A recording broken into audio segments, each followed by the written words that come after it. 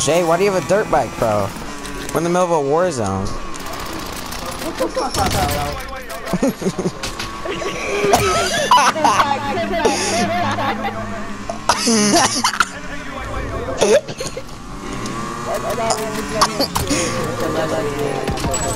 Okay, bro. Now you're just being weird.